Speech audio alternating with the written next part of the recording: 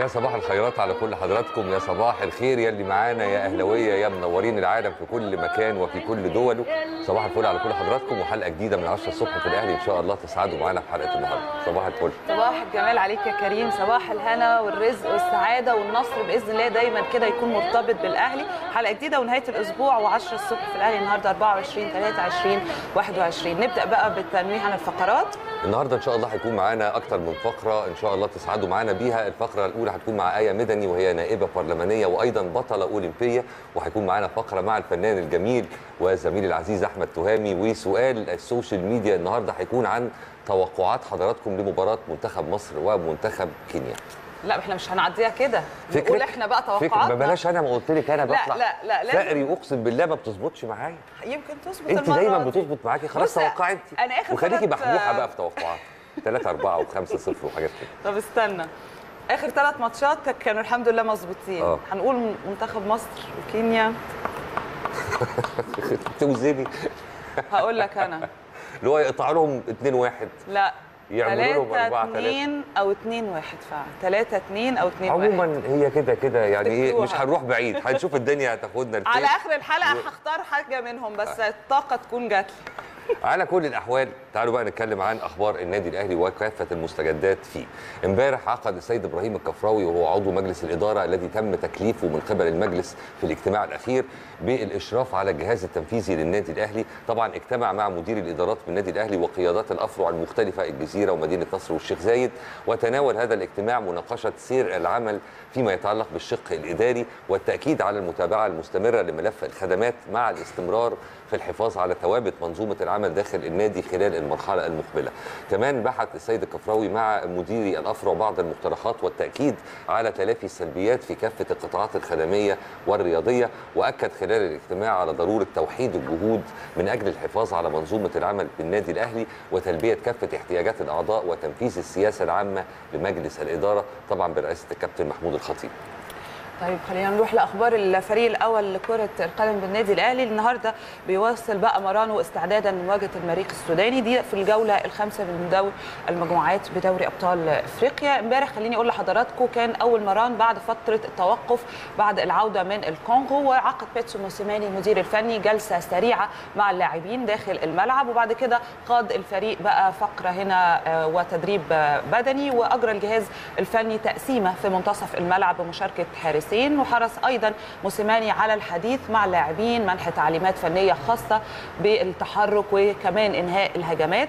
وحرص موسيماني أيضا على على عقد جلسة مع الجهاز المعاون ليه قبل انطلاق المران ضمن طبعا تحضيراته للمرحلة المقبلة. اللي هتشهد الكثير هنا نقدر نقول من التحديات عقب انتهاء فترة التوقف. أبرزها مواجهة المريخ في السودان ضمن منافسات دور المجموعات بدوري أبطال إفريقيا. هنرجع نقول مرة ثانية أكيد كل التوفيق لفريقنا فيما هو قادم بإذن الله. كمان من الأخبار المهمة اللي تخص الفريق إن الجهاز الفني صعد 12 لاعب من قطاع الناشئين بالنادي الأهلي للمشاركة في تدريبات الفريق بالأمس. يعني جه قرار تصعيد عدد كبير من قطاع الناشئين طبعا بسبب انضمام عدد أيضا كبير هو الآخر من لاعبي الفريق الأول إلى المنتخبات الوطنية وفقا طبعا للأجندة الدولية خلال المرحلة الحالية. شارك أحمد طارق سليمان وحمزة علاء في تدريبات الحراس مع علي لطفي طبعا تحت إشراف يانكن ميشيل واللاعبين اللي تم تصعيدهم هم محمد حسام ميدو مصطفى إلياس محمد أشرف أحمد أشرف أحمد سيد عبد النبي وليد مصطفى حسون محمد عمر رزق أحمد الشامي أحمد سيد غريب وأيضا أحمد نبيل كوكا. حلو جدا ومبروك للناشئين بنتمنى لهم كل التوفيق بإذن الله حاجة جميلة جدا إن يبقى عندك زي مصنع صح. بيخرج لعيبة الفكرة هنا إن أنت لما كمان بتهتم بالناشئين يا كريم أنت مش بتبقى محتاج بعد كده إن أنت تجيب مثلا أو تشتري لاعب. إلى حد ما ده بيحصل بس برضو لو أنت عندك يعني قطاع ناشئين قوي أنت خلاص أنت مش محتاج وقطاع الناشئين كمان خرج عندنا ناس كتيرة جدا يعني. لعيبة كتير جدا في الفريق الأول وكمان في الفريق في في الفترة الذهبية اللي أنت دايما بتتكلم عنها كانوا. من الناشئين ف لا وبعدين بقول لك كمان انت اللي مربياهم على ايديكي ومن بتفرق. اول لحظة انت عارفة عناصر القوة اللي في كل واحد فيهم واشتغلتي على تطوير العناصر دي على مدار السنين فطبعا حاجة جميلة جدا طبعا طبعاً.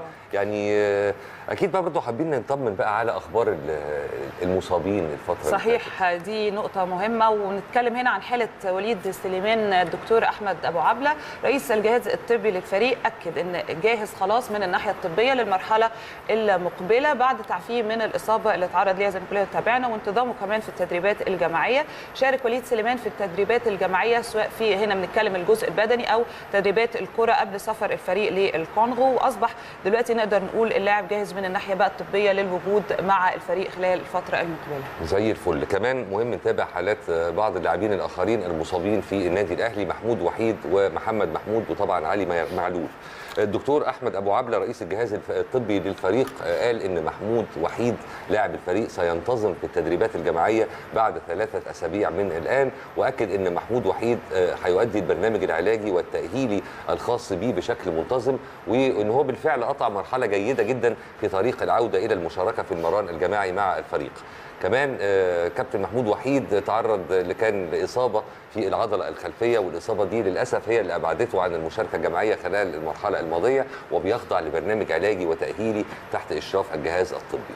طيب لسه برضو مكملين ونطمن حضراتكم. هنا تحديدا حالة محمد محمود الدكتور برضو أحمد أبو عبلة قال إن اللاعب دلوقتي أمامه فترة هتتراوح ما بين ثلاث أسابيع لشهر ده بالكتير جدا عشان يشارك مرة ثانية في التدريبات بقى الجماعية. وأكد محمد محمود إن بيسير بشكل جيد في البرنامج التأهيلي اللي بيقوم بتنفيذه وقطع مراحل كمان جيدة جدا لحد دلوقتي في طريقه بقى أو طريق عودته للمشاركة في المران الجماعي خلال الفترة اللي جاية. محمد محمود كمان كان أجرى جراحة في الركبة آه، أبعدته عن التدريبات الجماعيه فترة وبيقوم بتنفيذ برنامج علاجي وتأهيلي عشان يتم تجهيزه للعودة من جديد للمشاركة في التدريبات مع الفريق. يعني بنتمنى الشفاء لكل اللعيبة إن شاء الله يعودوا مرة ثانية كمان أحسن من الأول. أما بقى فيما يتعلق بعلي معلول الدكتور أحمد أبو عبلة قال إنه على تواصل مستمر مع الدكتور سهير الشملي وهو طبيب منتخب تونس بيتابع معاه لحظة بلحظة حالة علي معلول لاعب الفريق الأول لكرة القدم بالنادي الأهلي وإنه بيتابع حالته بدقة وهيتم تقييم حالة علي معلول عقب العودة من تونس قبل انتظامه في التدريبات الجماعية مع الفريق.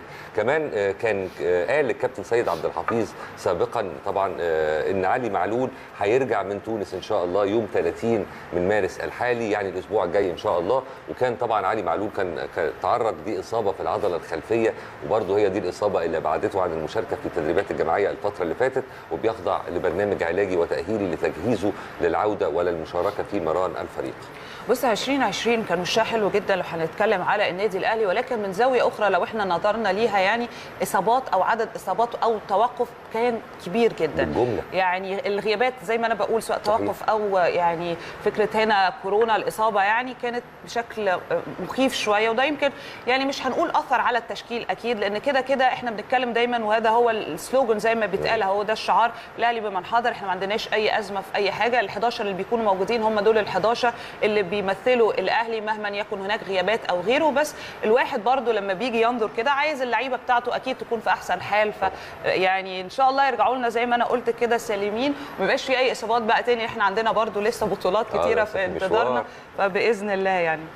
نروح بقى للمنتخب. دلوقتي الملف الأبرز زي ما كنا بنتكلم منتخب مصر اللي بيستعد بقى عشان يخوض مباراتين أمام منتخب كينيا وجزر القمر بكرة 25 مارس و29 مارس الجاري. ده ضمن التصفيات المؤهلة لكأس الأمم الإفريقية 2022 اللي هتقام بالكاميرون.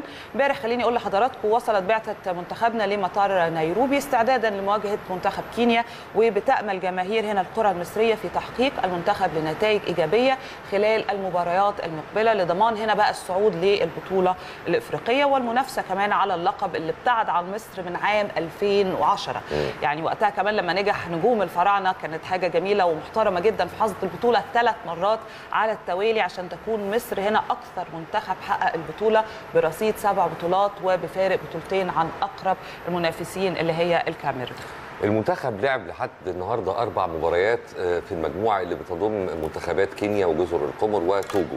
نجح نجوم الفراعنة في حصد 8 نقاط بعد ما تمكنوا من تحقيق الفوز في مباراتين والتعادل في مباراتين. ممكن نقول إن المنتخب هيكون يعني إلى حد ما في مهمة سهلة نسبيا من أجل الصعود إلى كأس الأمم الأفريقية المقبلة المقرر إقامتها في يناير 2022 إن شاء الله. طيب خلونا نروح لصلاح النجم محمد صلاح لاعب المنتخب الوطني وفريق ليفربول الإنجليزي. هو دايما بيحظى باهتمام كبير سواء هنا بنتكلم على مستوى بقى مشاركته في أو مع المنتخب أو مع فريقه الإنجليزي. حرص هنا الحساب الرسمي لفريق كمان ليفربول إن هو ينشر صورة من تدريبات المنتخب الوطني المصري زي ما حضراتكم شايفين وقال الحساب الرسمي لفريق ليفربول على صورة النجم محمد صلاح الملك في تدريبات الفراعنة. حاجة طيب. جميلة وعلى فكرة برضو دي من الصور اللي كانت على ال social media عاملة تعليقات و share بشكل كبير جدا صلاح بصي اللهم صل على النبي يعني ما شاء الله عليه جاذب لعدسات الكاميرات وجاذب. لكل الصحفيين والصحافة الرياضية لا إحنا بنتكلم على أيقونة رياضية وبعدين مش متكررة يعني ال quality ده من النجاح والاستمرارية فيه والحفاظ عليه ما حصلش مع لعيبة كتير. وهو الحمد لله رب العالمين ربنا يزيده يعني من فضله. طيب تعالوا بقى نرجع نكمل كلامنا عن النادي الأهلي وعن المنتخب. قبل أي حاجة لازم نقول إن النادي الأهلي هو المصدر الأكبر والرئيسي للمنتخبات الوطنية وعمره ما اتأخر عن تلبية أي استدعاء آه، لأي منتخب لأي لاعب في أي مرحلة سنية في أي رياضة أو في أي لعبة من اللعبات لأن ده واجب وطني في المقام الأول وتشريف للنادي وللاعب في نفس نفس الوقت طبعا. لكن هناك ضوابط لابد من اتباعها وهي الحفاظ على مصلحة اللاعب وأيضا على مصلحة النادي. طيب خليني أقول لك حاجة برضو علشان لما نيجي نتكلم في نقطة. زي كده إحنا بنقول الكلام ده ليه أصلا عشان لما تيجي كده تتكلم أو تطرح هذا الموضوع بيبقى فيه شوية علامات استفهام هنا تحديدا في ملف أو استدعاء أيمن أشرف لمعسكر المنتخب ليه. وفكرة إن أنت تقول له سافر لكينيا عشان يخوض مباراة وبعد كده المباراة الأخيرة كمان أمام جزر القمر في التصفيات المؤهلة وإحنا عارفين الوضع. يعني علامة الاستفهام هنا ممكن انت حتى توضح لنا يا كريم هي ليه إحنا بنقول إن هو كان عنده إصابة. هو الحقيقة هي يعني هي مش علامة استفهام هي أكتر من. كده حبتين. يعني أول علامة استفهام هنا يعني هو الإصرار على ضم أيمن أشرف للمعسكر على الرغم من معاناته من خشونة في الركبة. كل التقارير الطبية بتأكد هذا الكلام وبتقول إن علاجها هو الراحة التامة. لكن الجهاز الطبي للمنتخب الوطني قال إن اللاعب بإمكانه اللعب. ما هي دي بقى علامة استفهام. علامة استفهام الثانية طب الجهاز الطبي للمنتخب يعني أعلن في اليوم الثاني من المعسكر هناك إن أيمن أشرف بيخوض مرانا منفردا بسبب إن هو بيعاني من خشونة في الركبة. طيب ما الفكرة هنا أو الناس كلها كانت بتتساءل يعني ما ده اللي إحنا قلناه من الأول. يعني لازم تكشف أو تكتشف ده بنفسك على أرض بقى الواقع. فكانت غريبة شوية. طيب ما هو كمان السؤال هنا في لعيبة قالت إنها مجهدة. يعني اللعيبة نفسهم كانوا بيتكلموا كانوا بيقولوا ده وإن هي ما انضمتش للمعسكر ان بره بره وخلصت القصة قالت أنا يعني عبرت إن هي فعلا مجهدة. ف حاجة برضو غريبة شوية بس أعتقد في علامات لسه استفهام نكملها. جاي لك أهو جاي لك أنت. بصي رزقك واسع لا لا رزقك. الموضوع ده فعلا غريب يعني بص، شوية بصراحة. ثالث ثالث علامة استفهام يعني إنجاز التعبير أو التسمية هي إن بعد إعلان إن أيمن أشرف بيتدرب بشكل منفرد أوتوماتيك كده لازم نعلن إنه مش هيسافر لكينيا لأنك كمنتخب ليه هتضم لاعب ممكن يلعب وممكن ما يلعبش؟ وانت في الأصل أصلا قدامك أندية مصر كلها يعني بتضم منها أي لاعب سليم ومعافى وقادر دون المجازفة بلاعب أو بصحة لاعب ولاعب مهم كمان. بص بقى النقطة الرابعة يعني أعتقد أيضا دلوقتي لما تيجي تتكلم كمدير فني للمنتخب أكيد أكيد كلنا نعلم إنك بتدور على المصلحة العامة لكل الأطراف. ده ما فيهوش أصلا يعني شك. لكن لو لاعب هيلعب مباراة وممكن يغيب بسببها فترة طويلة جدا وممكن كمان أو لازم يتم استبعاده لأن يعني لو أنا هستبعده أقصد أنا ممكن عندي بديل. هي دي النقطة. أنا أملك البديل. خاصة كمان نحن بنتكلم إن علاجه في الراحة. يعني اللاعب ده علاجه إن هو يرتاح. ف ليه ما نحطش مثلا في الاعتبار هنا مصلحة الأهلي؟ إيه، أعتقد غياب أيمن أشرف كمان لو هنتكلم تحديدا عن مباراة المريخ يعني بسبب الإصابة هيعمل مشاكل فنية لأن إحنا لو هنتكلم على الفريق عندنا ما عندناش ظهير أيسر لإصابة علي معلول ومحمود وحيد زي ما كنا بنتكلم أنا وكريم في بداية الحلقة وزي ما كلنا عارفين يعني. فحاجة بصراحة غريبة شوية. لا وبعدين قبل كده ما هو موسيماني نفسه رفض المغامرة بأيمن أشرف في مباراة الإسماعيلي ومنحه وقت كافي للراحة. اعتمد مكانه على بيكهام في مركز غير مركزه عشان خايف عليه عشان بي يعني بيدخروا أو بيوفروا أو بيجهزوا لمباراة فيتا كلاب وأبعدوا عن التدريبات. وعلى الرغم من ده لعب مباراة فيتا كلاب وتم استبداله برضه برضه بسبب خشونة الركبة. يعني ال- الصورة واضحة وبينة قوي. ده الغريب اللي في الموضوع. مش عارف. أنا بتفق معاك جدا. وفي الأول وفي الآخر بس هو هيبقى التساؤل. يعني إحنا شايفين كل الشواهد شايفين كل التقارير دي. طيب نغامر ليه؟ يعني آه، لو حد عنده إجابة يقول لنا. يعني لأن دي أدينا طرحنا علامات استفهام كتيرة جدا. وما أعتقدش أنا وكريم بس اللي بنطرحها في البرنامج. يعني ناس كتير جدا. والاستوديوهات التحليلية والبرامج المختلفة الرياضية ومن الزملاء يعني على القنوات الأخرى. أعتقد برضو تحدثوا عن هذا الملف وطرحوا تقريبا نفس الاستفسارات. فعلى كل حال إحنا أكيد برضو هنرجع نقول بنتمنى التألق للمنتخب والتأهل بإذن الله. وعلى صعيد آخر إحنا دايما عندنا في النادي الأهلي الحقيقة نماذج محترمة جدا وناس أصحاب مهارات بتدفع العالم كله للإشادة بيها. الخبر اللي معانا عن الاتحاد الدولي للكرة الطايرة اللي سلط الضوء على مسيرة أحمد صلاح لاعب الفريق الأول للكرة الطايرة بالنادي الأهلي. على ضوء اختياره ضمن قائمة ضمت أفضل 100 لاعب في العقد الأخير. دول اللعيبة اللي نجحوا في ابهار الجميع بمستوياتهم الرائعة واللي لم يفوزوا فقط بالبطولات والألقاب الفردية ولكن كمان نجحوا في إن هم يبقوا ملهمين لجيل كامل من اللاعبين الصاعدين في اللعبة وكمان للمشجعين من خلال مهاراتهم اللي نالت إعجاب الملايين في كل مكان. فطبعا تحية كبيرة جدا وإشادة وتقدير. هو كلام جميل جدا لما نتكلم ونقول إن التقرير اللي نشره كمان موقع الاتحاد الدولي للعبة هو وصف أيضا أحمد صلاح بإنه الابن الأفضل للكره للكرة الطائرة المصرية. وكمان استعرض التقرير خليني أقول لحضراتكم سيرة اللاعب وقالوا عنه كلام بجد كان كلام محترم جدا وهايل.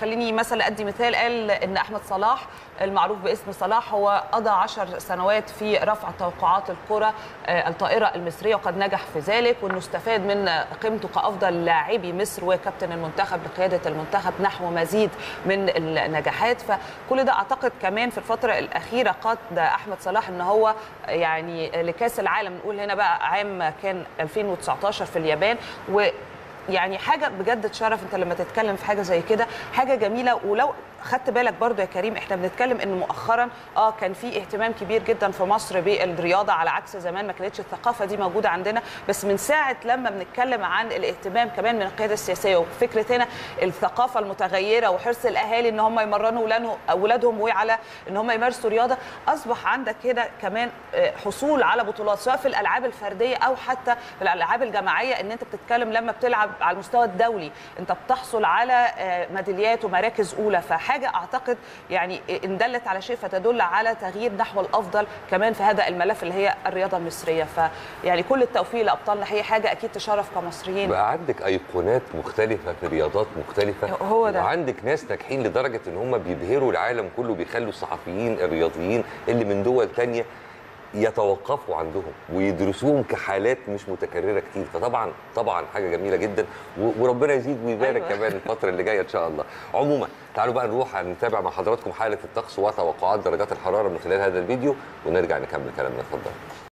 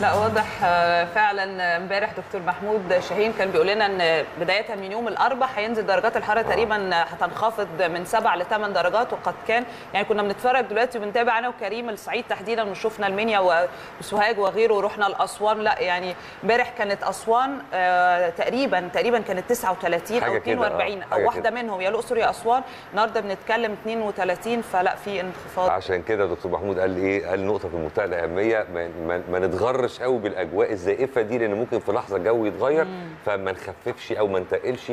نمشي طبقا لل- للوضع اللي إحنا تفتكر الجو اللي هو كل يعني ساعة بحال ده بيأثر على ال- المزاج العام؟ يعني ممكن يخلي الناس مودي أصلا؟ دي, دي شخصيات- عايزة في شخصيات بتستجيب فعلا للأجواء المحيطة بالمعنى الحرفي اللي هو. الأجواء فعلا.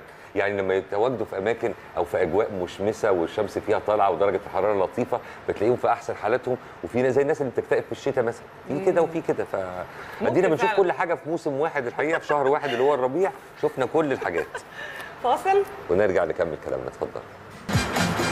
طيب خلينا نروح دلوقتي لأخبار النادي الأهلي. زي ما متعودين وفرقه المختلفة مع مراسلنا محمد توفيق من مقر النادي الأهلي بالجزيرة. توفيق. صباح الخير عليك يا توفيق في البداية. صبح عليك أنا وكريم وكل دلوقتي متابعي 10 الصبح في الأهلي وقناة الأهلي بيسمعوك. بس قبل ما تبدأ وتقول لنا يعني أخبار الأهلي عايزين نعرف منك الأجواء عندك إيه؟ الطقس أو درجة الحرارة أخبارها إيه عندك دلوقتي؟ آه، الزحمة وأنت رايح آه، النادي كانت أخبارها إيه؟ عشان لو أي حد برضو نازل يعرف ويستفيد. اتفضل يا توفيق. صباح الخير أنا هوند صباح الخير يا كريم. يعني تحياتي ليكم وكل مشاهدي 10 الصبح في الأهلي. شمس يوم جديد و10 الصبح من النادي الأهلي بالمقر الرئيسي بالجزيرة. يمكن زي ما قلت في البداية يمكن الجو هنا فيه تقلبات شوية يمكن من ساعة بالظبط كان في جو يعني كان ساعه أكتر. دلوقتي الجو بدأ الشمس تطلع الجو بقى أدفى بشكل كبير لكن في نشاط ملحوظ للرياح المحملة بالاتربه لكن الشمس بدأت تطلع والجو بدأ يكون فيه اعتدال يعني درجة الحرارة بنتكلم في 14 15 درجة مئوية بكتير. حالة الشوارع بره يمكن النهارده في حاجة غريبة قوي مع انه يوم عمل ويوم دراسي كمان لكن في حالة هدوء غريبة جدا في الشارع يمكن الشوارع تقريبا صح. شبه فاضية سيولة مرورية بشكل كبير جدا النهارده. أعتقد إن في تخوف شوية يمكن الجو كان إمبارح تراب شوية فده عامل تخوف عند الناس شوية فما فيش إقبال على الناس تنزل تقضي مشاورها في ساعة مبكرة الصبح. جميل. نروح بقى لأخبار النادي ويمكن بنبدأ اولى أخبارنا النهارده بالفريق الأول لكرة القدم. يمكن الفريق بيستأنف تدريباته لليوم الثاني على التوالي. يمكن كان في أجازة خمس أيام بعد المباراة الأخيرة أمام فيتا كلوب لكن الفريق بدأ بالفعل تدريباته امبارح امبارح الساعة 4 والنهاردة كمان التدريب الثاني هيبقى الساعة 4 إن شاء الله. يمكن في غياب لعدد كبير جدا من اللاعبين. عوض ده الجهاز الفني بضم مجموعة كبيرة من الناشئين يعني 12 ناشئ موجودين في تدريبات الفريق الأول. ده استعدادا طبعا للمباراة المقبلة أمام المريخ السوداني في الجولة الخامسة من دور المجموعات لدوري أبطال أفريقيا المقرر ليها إن شاء الله يوم 3 4 إبريل المقبل. يمكن اللاعبين معظم الفريق هيكتمل إن شاء الله بعد العودة من المباراة الأخيرة أمام جزر القمر اللي هتكون يوم 29 مارس الجاري. وبكده يكون الفريق إن شاء الله اكتمل وإن شاء الله يسافر السودان مكتمل الصفوف. إن شاء الله ربنا يبعد شر الإصابات عن اللاعبين ويكون الفريق بتشكيله الكامل في المباراة ويحقق الفوز والصعود مبكرا قبل المباراة الأخيرة أمام سيمبا هنا في القاهرة يوم 10 إبريل المقبل إن شاء الله. نروح بقى لألعاب الصالات والألعاب الأخرى. يمكن أسبوع كان عظيم جدا لألعاب الصالات. نتائج أكثر من رائعة. اليد والفوز على الطيران. فريق السلة والعودة لسلسلة الانتصارات الفوز على الاتصالات ومن بعده طلائع الجيش وكمان فريق الطايرة رجال. كان مباراة صعبة جدا أمام الزمالك قدر يحقق فيها الفوز ويرجع تاني للمسار الصحيح وإن شاء الله يس- بيستعد حاليا للمباراة المؤجلة أمام الترسانة وإن شاء الله بإذن الله الفريق يحقق فيها الفوز ويعتلي صدارة البطولة المفضلة ليه masters الأهلي دايما. هم رقم واحد في مصر مش مصر بس أفريقيا كمان. ونبدأ أخبارنا بفريق السلة سيدات واللي حقق الفوز امبارح أمام نادي سموحة بنتيجة 83 60 في مبا- مباراة ضمن مباريات دوري السوبر سيدات في برضو الدور الترتيبي. بعد كده إن شاء الله بيصعد يعني الفريق كل فريق بترتيبه بيحصل آه، دور يعني زي ما بنقول خروج المغلوب. إن شاء الله الفريق يحقق ترتيب كويس. يمكن الفريق دلوقتي في الترتيب الثالث إن شاء الله ينهي الدور الترتيبي في ترتيب كويس. يضمن له مواجهات أسهل في الدور الثمانية والدور قبل النهائي. آه، كمان فريق السلة رجال يمكن زي ما قلنا حقق الفوز في آخر مباراتين أمام الاتصالات. وأمام طلائع الجيش في آه، أولى جولات الدور الثاني من الدور الترتيبي لدوري السوبر الرجال الفريق بيستعد لملاقاة الجزيرة متصدر الترتيب. إن شاء الله المباراة هتكون يوم الجمعه على في مجمع الصالات باستاد القاهرة. يمكن الخبر يعني زي ما بنقول السعيد في الاستعداد إن إيهاب أمين الجهاز الفني والطبي الحمد لله تم إعلان جاهزيته إن شاء الله ويكون جاهز طبيا للمشاركة في مباراة الجزيرة يمكن مباراة من المباريات الهامة في الدور الترتيبي خاصة إن الجزيرة ماشي كويس وهو متصدر الترتيب في هذه المرحلة نروح بقى. كمان لخبر مفرح تاني كمان لاعبتنا لاعبة آه، النادي الأهلي لكرة اليد والمحترفة في فرنسا. يمكن نادي جنيان الفرنسي أعلن تجديد عقد اللاعبة رحاب جمعة ودي واحدة من يعني زي ما بنقول الأمثلة والنماذج المشرفة المصرية مش بس رياضية لا كمان المرأة المصرية وقدرتها وبرهانتها على إنها قادرة على إنها تلعب على جميع المستويات. يمكن رحاب جمعة كانت لاعبة النادي الأهلي آه، من قطاع الناشئين إلى الفريق الأول ويمكن احترفت في فرنسا ومكملة رحلة احترافها. نتمنى لها يا رب التوفيق. والنجاح. ودايما آه، كل أبناء النادي الأهلي يشرفوه في جميع المحافل دوليا وعالميا وكمان محليا. يمكن كمان بقى عاوز أعقب على الخبر اللي ابتديتوا بيه النهارده خبر أحمد صلاح واختيار الاتحاد الدولي للكرة الطائره إنه واحد من ضمن أفضل 100 لاعب في العقد الأخير. يمكن الخبر أنتوا اتكلمتوا اتكلمتوا في تفاصيل لكن حابب اتكلم يمكن المباراه الاخيره امام نادي الزمالك يمكن احمد صلاح كان باين عليه جدا التاثر يمكن بقالنا فتره في نغمه ان فريق كره الطايره بالنادي الاهلي معدل الاعمار كبر الفرق الاخرى يمكن يعني زي ما دايما بتقول عليهم ان الفريق بقى عواجيز. اعتقد ان احمد صلاح جايزه بالحجم ده في التوقيت دوت وتكريم. اعتقد ان دوت خير تكريم لاحمد صلاح يمكن ظهر التاثر عليه وقلنا زي ما قلنا عقب مباراه الزمالك. اعتقد يمكن ربنا عوضه في الوقت المناسب ان النادي الأهلي حقق فوز وأحمد صلاح يكون ال top score في المباراة. وكمان بعدها بيومين الاتحاد الدولي يختاروا من ضمن أفضل أو أكثر 100 لاعب مؤثرين مش بس رياضيا أو أداء فني لا كمان إن هم يعني زي ما بوصف التقرير بتاع الاتحاد الدولي إن أحمد صلاح واحد من الشخصيات اللي أثرت في جيل كبير جدا من اللاعبين اللي أقدموا على ممارسة كرة الطايرة بفضل لاعبين عظام زي أحمد صلاح. دي كانت أهم وأبرز أخبارنا هنا من داخل النادي الأهلي في الجزيرة. الكلمة ليكم وتواصل معاكم على مدار اليوم. هايل جدا وأخبار وتغطية يعني إيجابية جدا خليني أقول المصطلح ده. شكرا ليك جدا يا توفيق. شكرا. نروح بقى مع حضراتكم على موقع موقع موقع يلا كورة. اسمه المط معايا. موقع يلا كورة مع مراسلتنا العزيزة مريم سميح وهنتابع معاها أهم الأخبار الرياضية في الصحف والمواقع المحلية والعالمية. والجدير بذكر إن هيكون معاها لقاء مع منى عمر الصحفية بموقع يلا كورة. صباح الفل. اتفضلي.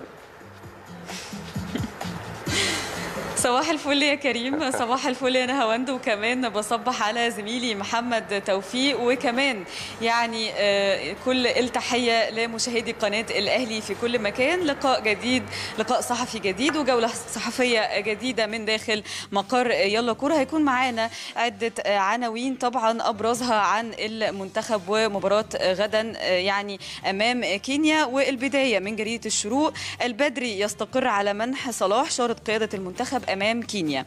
ومن بوابة أخبار اليوم الطريق إلى المونديال تصفيات أوروبا على صفيح ساخن وسط قيود جائحة كورونا. وكمان من جريدة الرأي الكويتية العد التنازلي لرحيل راموس وريال يحسم صفقة هالاند. وأخيرا من جريدة الشرق الأوسط فرنسا تستهل حملة دفاعها عن لقبها العالمي بمواجهة أوكرانيا وهولندا تصطدم بتركيا.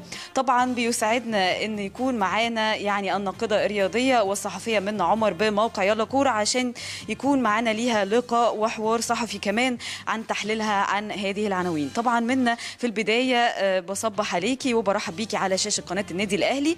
يمكن الملف الأبرز هو المنتخب المصري ومباراته غدا أمام كينيا. ولكن في نقطة هامة جدا يعني إعطاء البدري إشارة المنتخب لمحمد صلاح. ده كمان عايزين نقول هل ده ممكن يخلق أزمة في صفوف المنتخب خاصة إن عندنا طبعا بالأقدمية السولية وحجازي والنني خاصة إن كمان حصل أزمة قبل كده بعد رفض عبد الله السعيد وأحمد فتحي بإعطاء صلاح الشاره صباح الخير عليك يا مريم وصباح الخير على كريم ونهواند وكل متابعي قناه النادي الاهلي آه زي ما انت ما قلتي آه آه ترتيب أو أو إحنا بداية يعني كل ماتش المنتخب لازم نسمع عن أزمة شرط القيادة. زي ما انت ما قلتي الترتيب بتاع الشارة بيمشي المفروض بالأقدمية. فعلى حسب القائمه اللي موجودة دلوقتي بعد استبعاد عبد الله السعيد وأحمد فتحي فعندنا الترتيب عمرو السولية عندنا أحمد حجازي عندنا محمد النني وبعد كده عندنا محمد محمد صلاح وعمر جابر دول أول خمسة. فبالتالي الترتيب بتاعنا محمد صلاح آه، رقم أربعة. آه، خلينا الأول نتفق على آه، إن محمد صلاح لاعب كبير جدا مميز جدا داخل الملعب. عقليته تطورت جدا الفترة الأخيرة. نتيجة الخبرات اللي اكتسبها سواء في الدوري الإنجليزي أو قبل كده في الدوري الإيطالي. فخلينا نخرج برا صلاح بره الحسبة أصلا لأن صلاح مش طرف مش طرف في الموضوع. ال- الأزمة بقى لها تقريبا سنة ونص. منذ تولي حسام البدري كابتن حسام البدري تدريب المنتخب. لعبنا أربع ماتشات كينيا وجزر القمر وتوجو ورايح جاي. كل ماتش للمنتخب لازم نسمع عن الأزمة بتاعت شرط القيادة. آه، هي يعني ممكن ما تبقاش أزمة لو إحنا حسمنا آه، سواء الجهاز الفني آه، حسام البدري حسم الأمر بشكل آه، نهائي وقال مثلا أنا اخترت فلان أو أنا الموضوع مش هيمشي معايا بالأقدمية وأنا هختار فلان هو اللي هيبقى قائد المنتخب والترتيب بتاعي مثلا هيمشي 1 2 3 4 تمام؟ فهي دي دي المشكلة الموضوع كمان اتطور مش منتخب الأول بس بقى منتخب أولمبي كمان. كابتن شوقي غريب اتسأل من فترة عن وجود أزمة ما بين صلاح وما بين رمضان صبحي على أساس شرط القيادة في حالة انضمام صلاح ل- لقائمة الأولمبياد آه، في طوكيو إن شاء الله. وخرج برضو آه، قال إنه ما فيش أزمة وما فيش خلافات وإحنا بنتعامل مع اللاعبين على حسب العقلية بتاعتهم يعني. بس فإحنا لو ال- ال- الموضوع سواء من الجهاز المنتخب ال- الأول أو الأولمبي لو حسمنا ال- الموضوع بشكل مباشر. فمش هيبقى فيه خلاف ومش هيبقى فيه أزمة أصلا. منا سريعا عايزة أروح معاكي. طبعا يعني العنوان الأبرز من جريدة الراي الكويتيه يمكن اتكلموا عن ريال مدريد الانتقالات. آه، كمان عايزة أتكلم هل يكون في صفقات مدوية في ريال مدريد سواء برحيل راموس طبعا بعد ما قضى يمكن 16 عام داخل صفوف ريال مدريد وكمان يعني ملقب بقلب الأسد وكمان يعني ضم هالاند آه، بمبلغ كبير جدا. يمكن آه، اتكلمت الراي الكويتيه إنه يعني آه، كمان راموس رفض إن هو يخفض راتبه بنسبة 10% بسبب جائحة كورونا بس في نفس الوقت يعني في رقم كبير جدا وهو 150 مليون يورو مقابل ضم هالاند. كلامك مظبوط و 90% ومش 90% 99% الميركاتو الصيفي المقبل ده هيبقى آه، مدوي آه، الأندية الكبيرة كمان آه، خصوصا لأنه معظم الأندية دي ما قدرتش تعمل صفقات قوية في الميركاتو اللي فات بسبب أزمة جائحة كورونا. وأكيد طبعا برضو هتأثر عليها في الميركاتو الجاي بس مش يعني مش هيفضلوا اتنين ميركاتو ورا بعض ما يبقاش فيه صفقات قوية. الأبرز على الساحة دلوقتي هالاند ومبابي. كل الناس عايزة تعرف هالاند ومبابي هيروحوا فين خصوصا إن إمبابي عقده قرب ينتهي مع باريس ولسه ما جددش. لكن هالاند لسه قدامه ثلاث سنين. بس في شرط جزائي فممكن يدفع والموضوع يخلص. آه، في تقرير قالت إن آه، ريال مدريد قرب جدا من من حسم صفقة هالاند 150 مليون يورو. آه، سؤالك بخصوص إنه إنه ريال مدريد رفض إن هو يزود عقد راموس أو يزود الراتب بتاعه ما يوافقش على أساس إن راموس رفض إن هو يقلل الراتب بتاعه بنسبة 10% وفي نفس الوقت هيدفع المبلغ الكبير ده في هالاند. هالاند عنده 20 سنة. فأنا لما أستثمر في لاعب عنده 20 سنة لسه صغير هيبني معايا هيكبر معايا في الفريق آه، غير ما أدفع مبلغ كبير في لاعب عنده 34 سنة بغض النظر طبعا إن خبرات راموس كبيرة جدا يعني. آه، هالاند كمان آه، هو عنده 20 سنة بس حقق أرقام قياسية من بدري. تفوق على مبابي تفوق على ميسي بأنه أصبح أصغر لاعب أصلا يسجل 20 هدف في دوري أبطال أوروبا. بشكرك جدا يعني منا تحليل أكثر من رائع لعناويننا الصحفية اللي كانت موجودة معانا اليوم. صباح الأربعاء من مختلف المواقع والصحف سواء المحلية أو العالمية. بشكركم جدا. العودة للاستوديو مرة أخرى. كل الشكر للزميله العزيزة مريم سميح وطبعا الشكر موصول لضيفتك الكريمة. شكرا جزيلا ليكم. شكرا مريم وشكرا محمد توفيق على التغطيه الاكثر من رائعة. خلينا بقى نروح للكرة العالمية ونروح تحديدا لنجم بايرن ميونخ الألماني لكرة القدم ليفاندوفسكي اللي كرمت بولندا لاعب المنتخب الوطني آه، كرمته تقديرا لإنجازاته في كرة القدم والترويج لبلاده كمان في الخارج. خليني أقول لحضراتكم هو قام برفع الأوسمة في البلاد من يد الرئيس البولندي في حفل أقيم في القصر الرئاسي بالعاصمة وكان قد فاز بلقب أفضل لاعب في العالم خلال العام الماضي بعد مساهمته في فوز البايرن بثل- بثلاثية الدوري وكمان الكاس ودوري الأبطال. لاعب كبير آه، كلنا حبيناه كمان لما كنا بنتفرج على الماتشات الأخيرة ولاعب قوي واسم كمان كبير. يعني هو مش صغير طبعا في السن ولكن هو مسيرة كبيرة جدا ويمكن لمع جدا في السنوات كمان الأخيرة. طيب. نروح بقى مع حضراتكم على رياضة كرة السلة حيث فاز فريق لوس أنجلوس كليبرز بفارق كان الأول خسران بفارق 22 نقطة من أتلانتا هوكس في منافسات دوري كرة السلة للمحترفين. عملوا ريمونتادا من الصنف اللي يدرس بالمعنى الحرفي وكانت نتائج يعني النهاية في هذه المباراة هي فوزهم بنتيجة 119 ل 110 طيب دي كانت الفقرة الإخبارية الأولى في 10 الصبح في الأهلي في حلقة النهاردة. إحنا هنروح فاصل وبعد كده زي ما كنت بقول لحضراتكم معانا فقرات كتيرة جدا. يعني معانا النجم أحمد التهامي ومعانا فقرة أولى هنتكلم فيها عن نموذج نسائي وكمان رياضي وهو سياسي. يعني mix جميل جدا حاجة تشرف حقيقي. وهيبقى معانا السؤال الأخير اللي هو السوشيال ميديا وتوقعات حضرات حضراتكم للمباراة. أنا كنت بقول 3 2 أو أنا نسيت أنا كنت بقول إيه أصلا. 3 إيه؟ اتنين. و2 1 2 1 فريق بيقول لي 2 1 صحيح.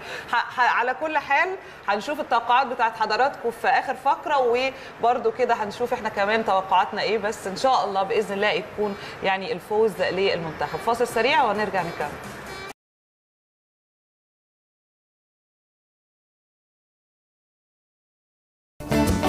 هي سفيرة للرياضة المصرية في المحافل الدولية واللجان الأولمبية حيث حققت عددا من الإنجازات سواء في المجال الرياضي أو الإداري مما جعلها تتقلد المناصب المهمة في المنظمات الرياضية.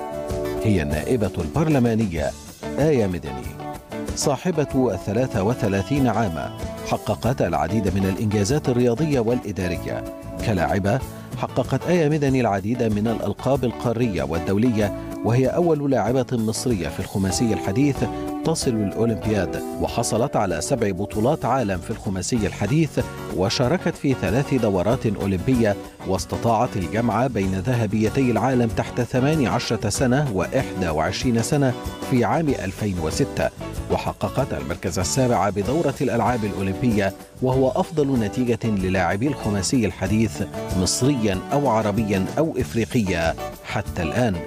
كما حققت ميداليات الاشتراك في الدورات الأولمبية أثينا 2004 بكين 2008 ولندن 2012 وحصلت على وسام الجمهورية من الطبقة الأولى في عام 2008 وواصلت مشوارها الناجح إداريا بعد تقلدها عدة مناصب مثل عضو لجنة اللاعبين وعضو لجنة التنمية الرياضية بالأولمبية الدولية كما أنها رئيس للجنة اللاعبين باللجنة الأولمبية المصرية بجانب اختيارها ضمن اللجنة المشكلة للإشراف على بعض الرياضات في أولمبياد طوكيو 2021 كما تم اختيارها لتمثيل قارة إفريقيا في اللجان الخاصة بالاتحاد الدولي للخماسي الحديث لتطوير اللعبة على كافة المستويات. واختيرت كسفيرة للسلام والرياضة بمنظمة السلام والرياضة الدولية عام 2016 تم تكريمها من الرئيس عبد الفتاح السيسي رئيس الجمهورية عام 2017 على إنجازاتها المتعددة. وفي عام 2021 أصدر رئيس الجمهورية قرارا بتعيين آية مدني عضوا بمجلس النواب التي أصبحت عضوا بلجنة الرياضة سعيا في وضع قوانين لتطوير الرياضة المصرية على مستوى الهيئات والأفراد. آية مدني البطلة الأولمبية في ثوب النائبة البرلمانية تحمل في جعبتها طموحات وأهدافا عديدة لإفادة الرياضيين والرياضة المصرية في المحافل العالمية.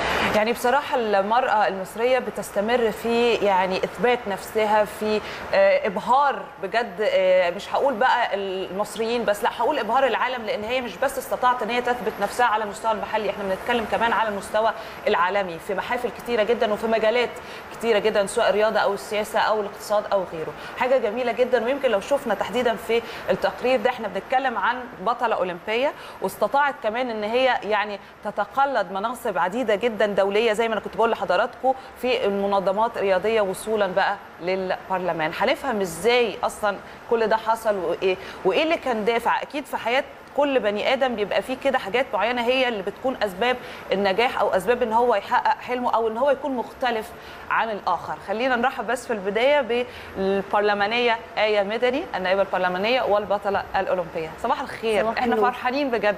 وأنا كمان والله.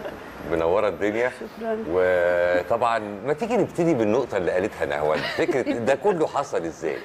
هو اولا أنا أحب أشكر القناة والبرنامج على التقرير. يعني أنا أول مرة يكون في تقرير شامل لمسيرة حياتي من وأنا لاعبة لحد المرحلة اللي أنا وصلت لها. آه، جه إزاي؟ ده سؤال صعب قوي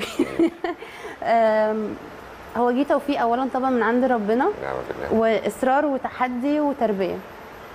إصرار وتحدي وتربية. مم. هو أهلي كلمة السر في حياتي هم أهلي. إن إحنا أنا عمري ما كنت أحلم ولا كنت أتخيل وأنا طفلة رايحة النادي إن يبقى هو ده إن أنا في يوم من الأيام هبقى عضو في مجلس النواب وبالتعيين ده محدش يعني بيفكر إن هو ممكن أصلا تجيله دي أو يكون حياته بيخطط لها إن هو لأ أنا هخش البرلمان بالتعيين. فالواحد ما كانش في دماغه. كده. خالص طبعا طبعا. فهي بتيجي خطوة بخطوة بتيجي بالأولويات بتيجي بالتحدي كل ما يكون في عائق قدامي بقلبه بتحدي ونجاح هي دي كانت بتبقى أصعب مرحلة. فالتحدي ده لما يتقلب لنجاح لا أنت بتثبت نفسك أكتر من الأول صح. وال... والساحة كلها أو الناس اللي حواليك كلها لا بيعرفوا إن أنت مميزة أو مختلفة عن الباقي. لأن الباقي الطبيعي إنه هيسيب المكان ده ويمشي ويروح حتة مم. صحيح. طيب خلينا نبدأ كده بقى مجال مجال يعني مبدئيا الرياضة آه، رحت فيها ل يعني يعني هقول مستوى رائع جدا وناجح جدا وكمان دلوقتي عندك مهام سياسية بس وكمان على المستوى ال- التعليمي والعملي أكيد برضو آه، في دور كبير بتقومي بيه. فحابه نبدأ بأنهي مجال؟ يعني انت اختاري حتى ممكن المجال الرياضي إن هو. دوت اللي أنا بدأت فيه في حياتي. أنا قلت كل مرة وبحب أكد للناس كلها إن أنا بدأت حياتي من عيلة متوسطة. كل حياتهم أو هدفهم والدي ووالدتي إن يودوني أنا وأخويا نروح النادي ولا يجيبوا عربية. فقرروا إن هم لأ إحنا هنشترك في النادي عشان ولادنا يلاقوا وقت الوقت الفراغ بتاعهم يقضوه في حاجة كويسة. اشتركنا في ألعاب كتيرة لحد ما اخترت الخماسي قابلت مدرب قال لوالدي ووالدتي بالنص وأنا فاكراها لو ركزتوا في الخماسي لسه محدش يعرفه آه، آية هتبقى مميزة وهتبقى بطلة عالم. بالنسبة لي هو إيه يعني بس أنا جربت كل الالعاب ومفيش حاجة شدتني بس الخماسي لأ ده جري وسباحة ورماية وفروسية وسلاح. طب ما نجرب. أوكي. فجربنا الخماسي. ده كان عندك كام سنة وقتها؟ كان عندي سبع ثمان سنين. كانت كنت لسه في البداية خالص. بعد كده بدأت أحس إن هو هي دوامة. أنا بنبدأ الأول بثنائي جري وسباحة.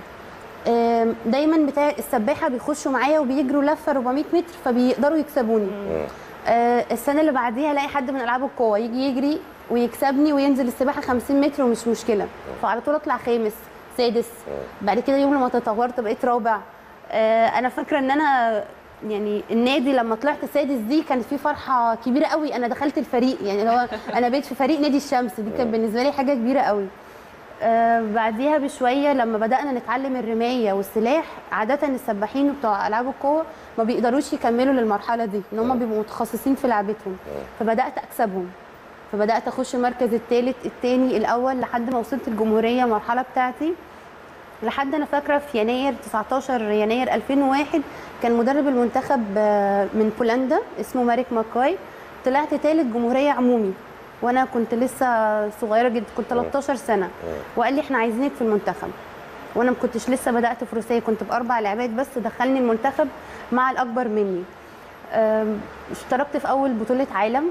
ده كان أول بقى حاجة اللي هو إيه أنا انتقلت بقى من المرحلة المحلية للمرحلة العالمية. طبعا. كانت في سبتمبر 2001 رحت بطولة عالم تحت 18 سنة.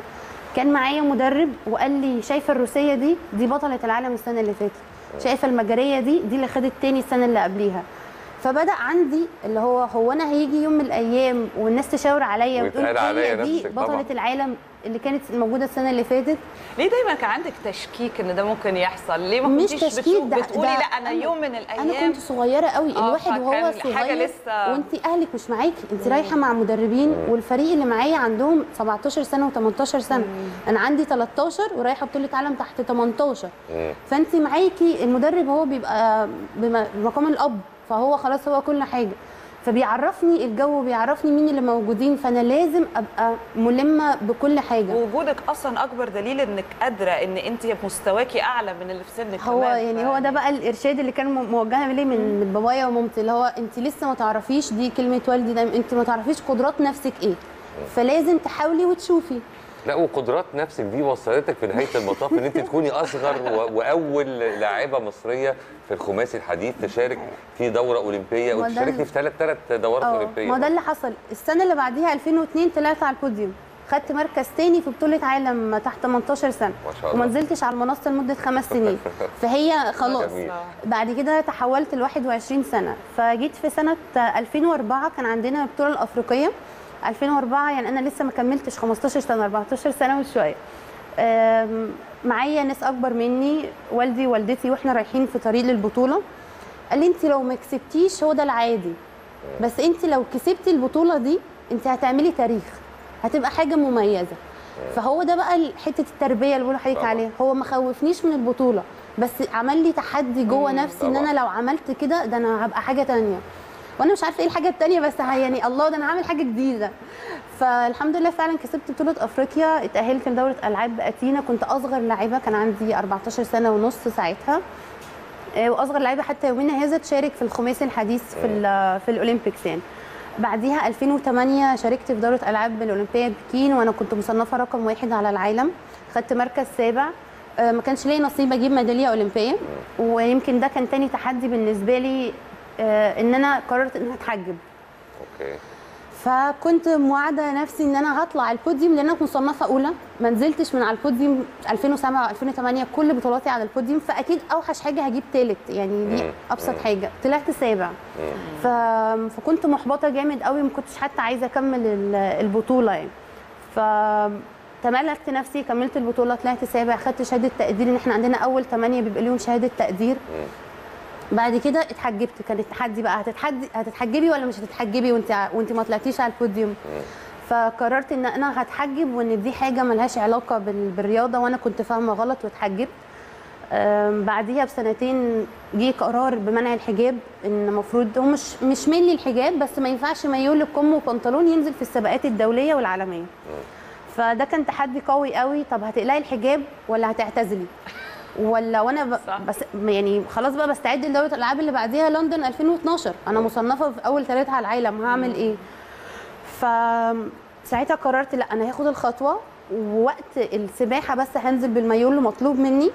بس ده مقابل إن أنا مؤمنة إن الحجاب وإيماني ملوش علاقة بالرياضة. هم فاهمين غلط. أنت مش المفروض إن أنت تأيدني. لو أنا مؤمنة بحاجة أنت مش المفروض تأيدني. من هنا جه بقى التحول للإدارة. اشتركت فعلا شاركت في دوره ألعاب أولمبية بتاعت ريو. وأنا أول محجبة حتى يومنا هذا تشارك في الخماسي بالحجاب في دورة ألعاب.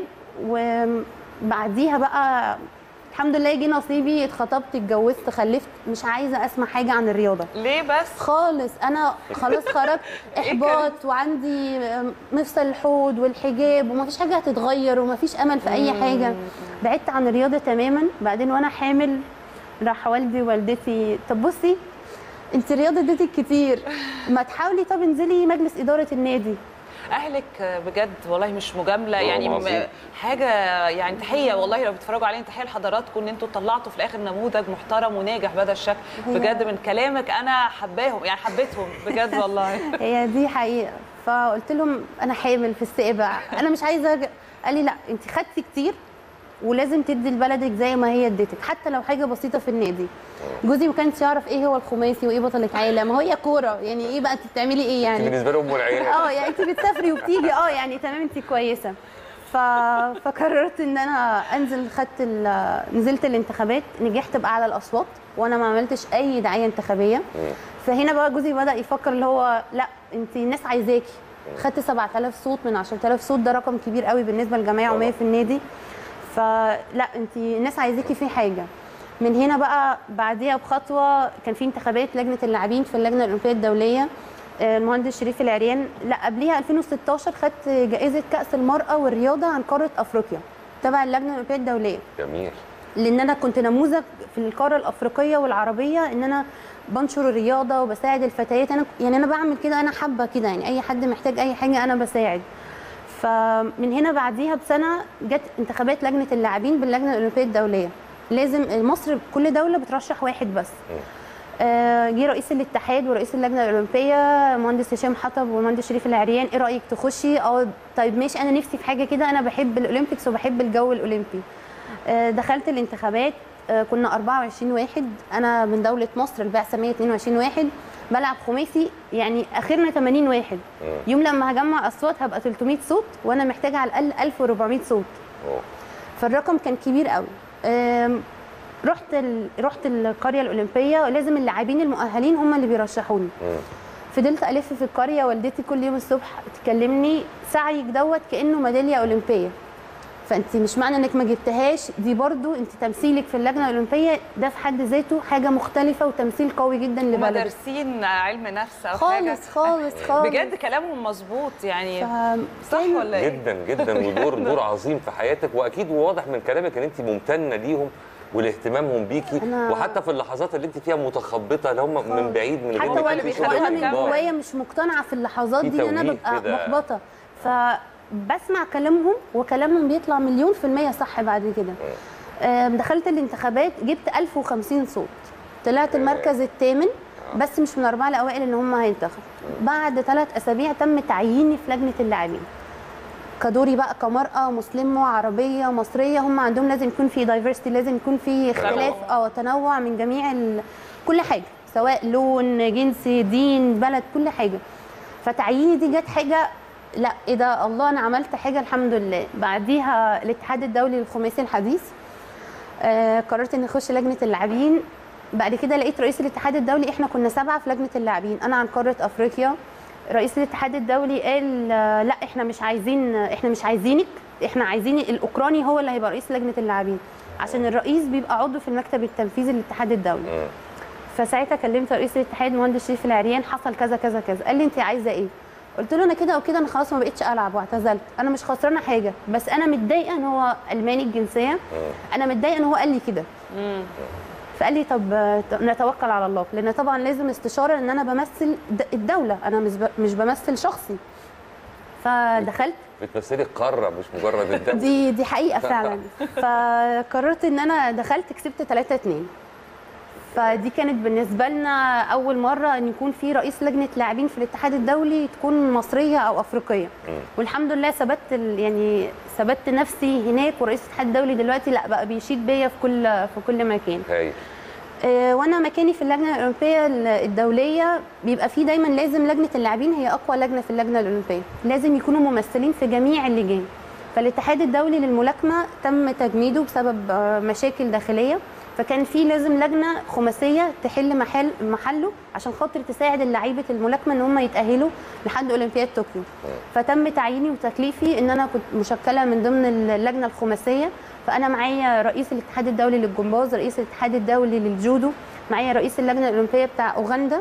عندي عضو اللجنة الأولمبية بقاله فوق ال 40 سنة وهو كان في الاتحاد الدولي للملاكمة وأنا. العبد لله. اللهم صل على النبي.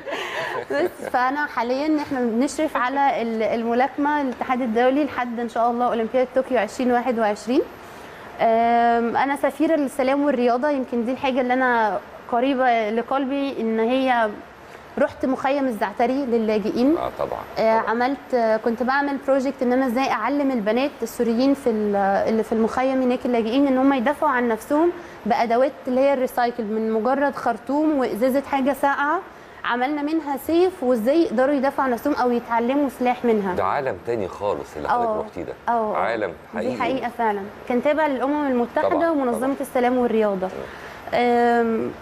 فهو يعني عشان كده هي دي جت كلمة إن أنا سفيرة أو بطلة من أبطال السلام والرياضة. لحد بقى الحمد لله كرمت فيهم المرأة المصرية 2017 سيادة من. سيادة الرئيس. عبد الفتاح السيسي. خلال الفترة دي لما أنا دخلت المجتمع الدولي حسيت إن أنا مش فاهمة مصر قوي أنا فاهمة إيه؟ رياضة بس مش مش فاهمة بلدي بتعمل إيه. إحنا خارجين من ثورة. وأنا بقعد مع ألمان وروس وإنجليز وأمريكان كلهم ملمين وكلهم كبار في السن وفاهمين الدنيا بتحصل إيه. حسيت إن أنا عندي حتة واقعة.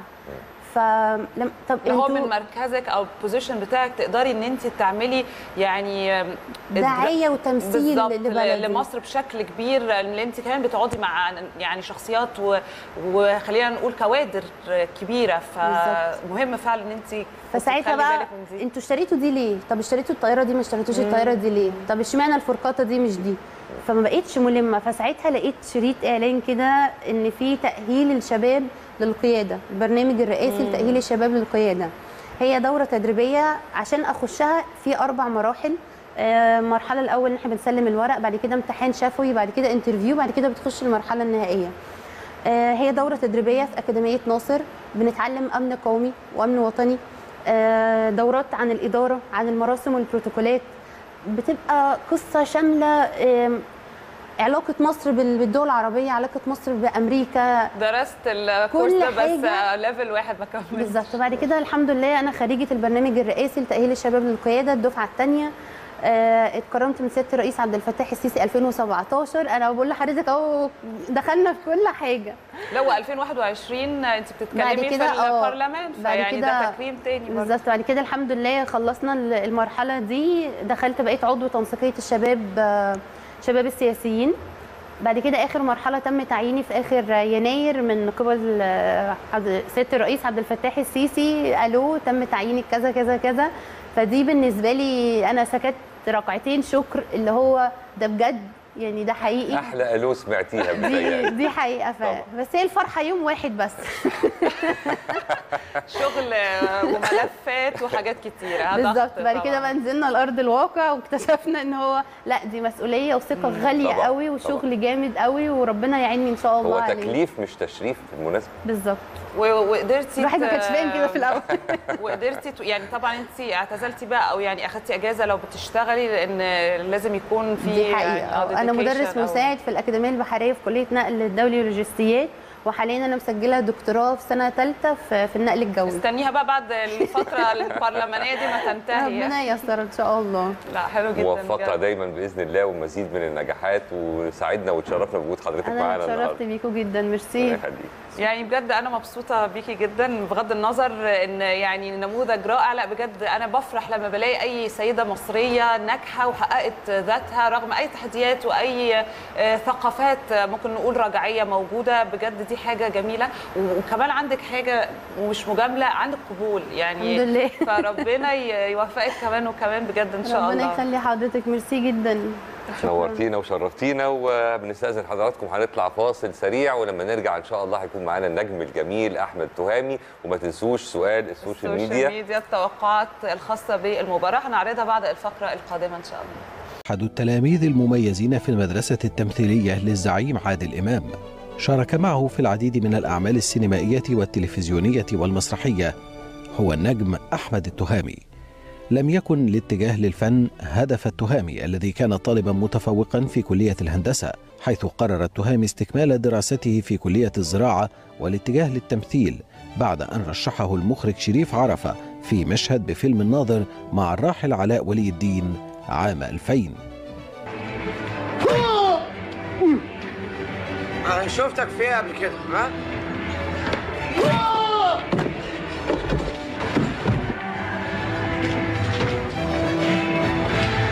في إيه يا كباتن؟ اعمل نفسك ميت اعمل نفسك ميت.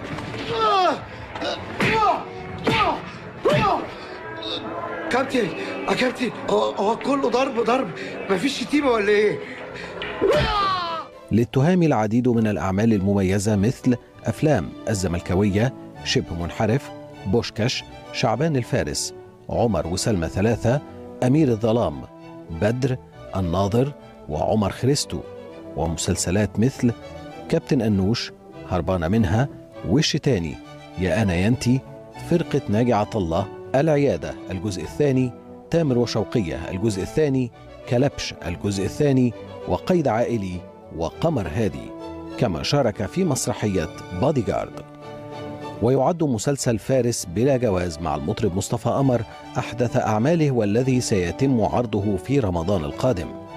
وللزعيم عادل إمام مكانة خاصة في عقل وقلب التهامي الذي كان محظوظا لمشاركته في العديد من أعماله الفنية فمن ينسى دوره في التجربة الدنماركية وفرقة ناجي عطلة ومسرحية بادي جارد لم يترك الفنان الشاب مناسبة إلا وتحدث عن الزعيم الذي أثر في شخصيته وساهم في حبه واحترامه للفن ولقيمته ورسالته.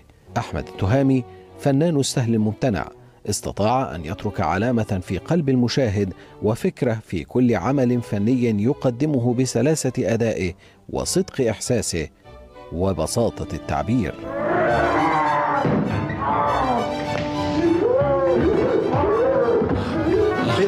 الاه بتاعت الزمن الجميل اللي كانت بتطلع من القلب كده تشرح القلب. الواحد كان بتديله حماس. احترامي لحضرتك. الدنيا كلها تقطع اللحمه إلا أنا. أنا لو عملت كده هبوظ اللي بقالي سنين بعمله وجسمي هيروح. صحتي ما بقتش زي زمان. وكل مدى في الناس. أنا تعبان يا باشا. آه مروها إنت. قول يا تهامي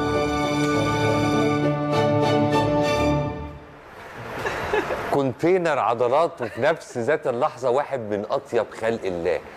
يعني الهيئة العامة ممكن يبقى فيها شبهة إن الشخص ده ممكن نتيجة القوة المفرطة يكون في شكل من أشكال الافتراء. ومع هذا واحد من أكثر الفنانين التزاما واحتراما وتواضعا أحمد التهامي منور الدنيا وصباح العسل. ربنا يخليك صباح الخير يا كريم. عليك. صباح الخير عليك صباح الخير. مبسوطين إنك معانا وأنت أهلاوي عظيم ويعني في تاريخ مع النادي ربنا الأهلي. ربنا أنا مبسوط جدا وسعيد واتشرفت إن أنا معاكم وصباح الخير على جمهور النادي الأهلي وصباح الخير على قناة الأهلي. صباح العسل. الخير عليك. وخلينا بقى معلش كده نبدأ يعني نرجع لورا شوية لأن أنت فيك بصراحة ودي مش مجاملة فيك ميزة إن ممكن الشكل يكون بيحط أو بيجبر المنتج أو المخرج بأدوار معينة ولكن أنت كسرت ده. أنت عملت أدوار مختلفة كتيرة جدا. يمكن كانت البداية كده بس أنت نجحت في حاجات برضو يا أحمد كتيرة وأدوار مختلفة. ف إزاي؟ يعني الموضوع أكيد مش سهل.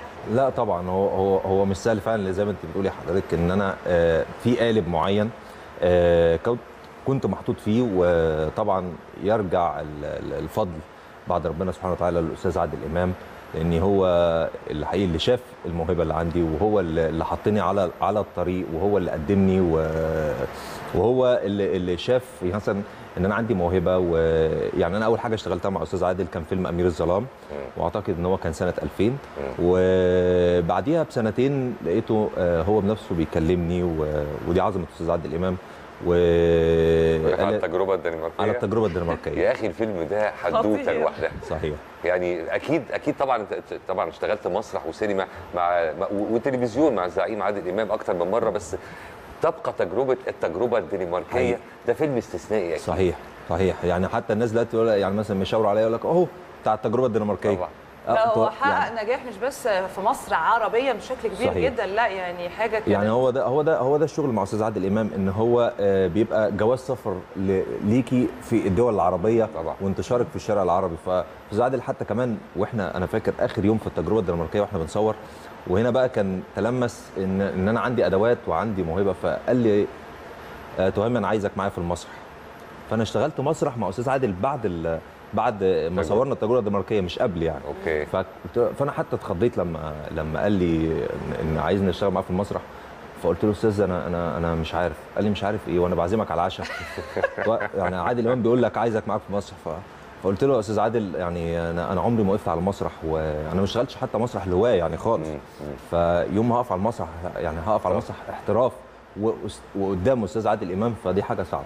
حقيقي كان يعني قال لي ساعتها أنا فاكر قال لي أنت عندك موهبة بس لازم المسرح هي- هيخليك متمكن من أدواتك صحيح. وهيخليك آه، عندك آه، اتزان آه، في التمثيل. لكن حقيقي أستاذ عادل يعني صاحب فضل كبير عليا. يعني. وأكتر يعني معلش هو الأسئلة دي بتبقى كليشيه بس بنبقى حابين إحنا كجمهور نعرف من الأدوار اللي بجد يا أحمد حسيت إن أنا داخل أمثل الدور ده بس أنا حابه. يعني ما ممكن أدوار كتير تتعرض عليك بس مش كل الأدوار. اللي بتمثلها. أنت. بتبقى شايف نفسك أنا عايز أعمل الدور ده. كان إيه تحديدا؟ والله حقيقة يعني هو طبعا آه، أدواري مع أستاذ عادل إمام. يعني طبعا بتبقى عارفة أنت اللي هو بتحسي إن بعد مشوار إن ربنا بيكرمك بجائزة كبيرة جدا وهدية كبيرة جدا إنك تشتغلي ولو مشهد مع أستاذ عادل إمام طبعا. فالحمد لله كان ليا نصيب طبعا في السينما. وفي ال... وفي الدراما في المسلسل زي فرقة ناجي عطا الله طبعا.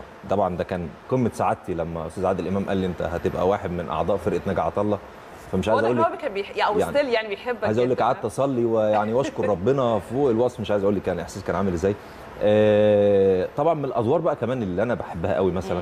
يعني آه، دوري مثلا في كلبش. يعني ليه؟ لأن أنا لما اتعرض عليا كلبش وجالي الورق فقالوا لي دور عوض.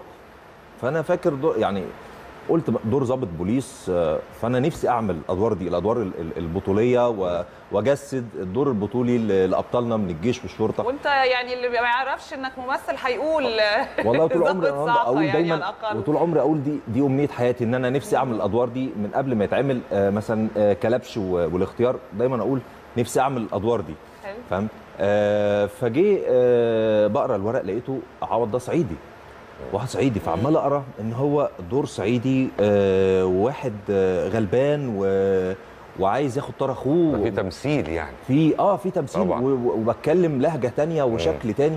فأول حاجة أنا رحت مكلم طبعا آه أستاذ آه باهر درودار المؤلف.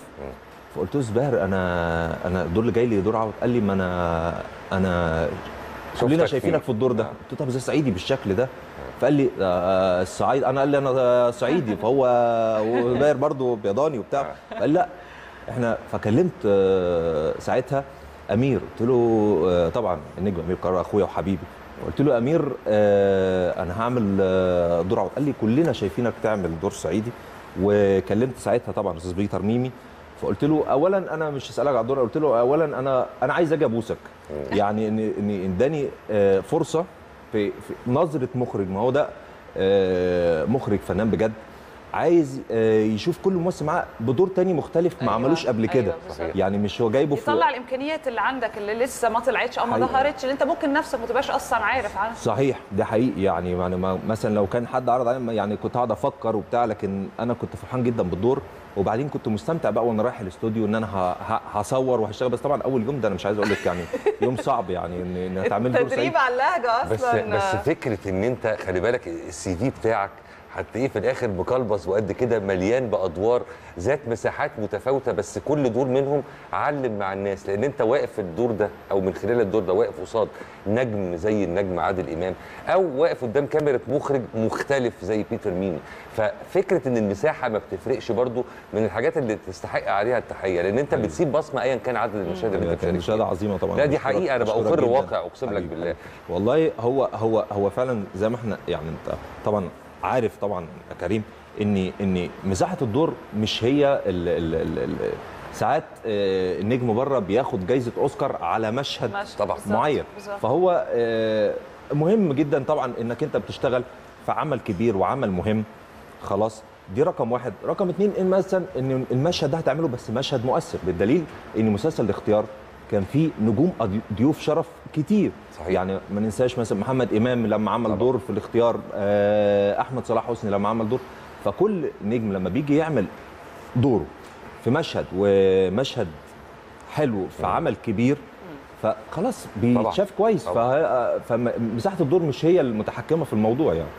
طب أحمد في يعني دور بصراحة برضه إيه، اتعرض عليك ورفضت حسيت إن ده مش هيضيف هينقص. بصراحة.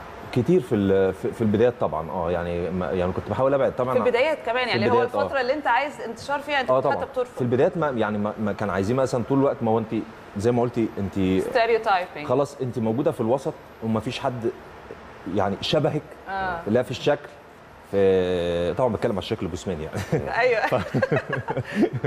مش بتكلم على الشعر المسبسب لا ولا ومن غير من غير. سبسبة يا برنس أنت عامل شغل اللهم صل على النبي زي الفل. لا يا كريم زي العمر. ف ف ف فكان بيتعرض عليه حاجات كتير قوي. فكنت بقول لا ده مش هينفع ده هرفضها. لا هحس إن هي آه، مش عجباني. فكان ده بيحصل كتير قوي في الأول. كويس إن كان عندك قوة الرفض حتى وأنت بتبتدي مشوارك لأن آه. مش كل الناس بيقدروا يقولوا لأ في وقت زي ما نهاوند بتقول لك بيدوروا فيه على الانتشار. صحيح. فدي أنت ما نقطة. كنتش فاهم؟ أحمد ربنا. لا لا كويس حتى لو كده برضه أحمد ربنا. كويس إن في الآخر نتج عن ده إيه؟ أه. انتقاء مميز للأدوار زي ما كنا بنتكلم من شوية. الحمد طبعا لله. في حالتك أنت توهاب إحنا عندنا ملفات كتير الحقيقة ممكن نتكلم معاك فيها. يعني طبعا أهلاويتك المفرطة. وسفرك و ومتابعتك لكل اللي يعني ما هو متعلق بالنادي الأهلي أدي ملف. ملف ممارستك أنت شخصيا للرياضة وبيخيل دي برضو ممكن تبقى نقطة مهمة وملهمة لناس كتير من اللي بيتفرجوا علينا. فكرة أنت بتمارس الرياضة قد إيه؟ يوميا؟ كم ساعة؟ آه، نظامك الغذائي؟ يعني إيه اللي إيه اللي قدرت تعمله أو إيه اللي عملته عشان توصل في الآخر للفورمة الحلوة دي؟ بسم الله ما شاء الله. حبيبي يا كريم طبعا أنت قلت حاجات كتير قوي بص ال- يعني طبعا أنا أنت عارف آه، الوسط الفني بس أنا أصدقائي أكتر طبعا في الرياضة. وطبعا لعيبة الكورة ولعيبة النادي الأهلي طبعا أكتر وارتباطي بالنادي الأهلي طبعاً. والنادي الأهلي. أنا مش هقول شعارات كبيرة عن النادي الأهلي بس حقيقي النادي الأهلي آه، مؤسسة كبيرة ومنظومة محترمة من أيام الكابتن صالح سليم لحد طبعا الكابتن محمود الخطيب. يعني آه ومنظومة دايما أنت عارف إيه يجي يقول لك إيه النادي الأهلي خلاص اللعيبة يعني كان في جيل آه بركات وعماد الجيل متعب الذهبي ده والجيل الذهبي وبتاع وقال لك خلاص الأهلي. إحنا عندنا جيل دلوقتي. آه أجيال بتسلم أجيال. هو ده النادي الأهلي وكان زمان آه كابتن محمود الخطيب وكابتن. طاهر أبو زيد. يعني أنا فاكر وأنا صغير آه طبعا بيبو ده آه وإحنا أطفال كان آه، حلم. طبعا. ف- فإحنا كنا أنا كان عندي فاكر من خمس سنين يعني. وكنا بنعيط. عايز أروح أشوف بيبو في الاستاد وكان ماتش ووالدي ساعتها أخدنا وكان أول وآخر مرة أروح الاستاد من زمن يعني. طبعا رحت الاستاد بعد كده بس أنا بتكلم على عمر وزمن إن أنا أروح أشوف آه، بيبو. طبعا. كابتن محمود الخطيب. ف... فكان بالنسبة لي حلم. آه، فطبعا أنا ارتباطي أكتر بالرياضة طبعا. ف- فمعظم حتى اللعيبة والمدربين عارفين إن أنا رياضي ف...